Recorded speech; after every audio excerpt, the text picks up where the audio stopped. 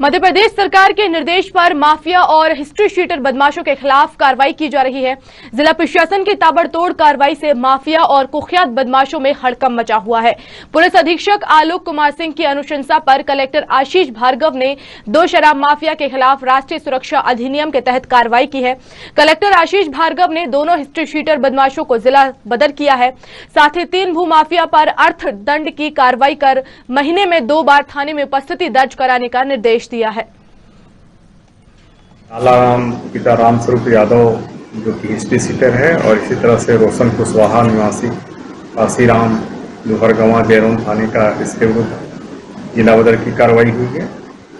और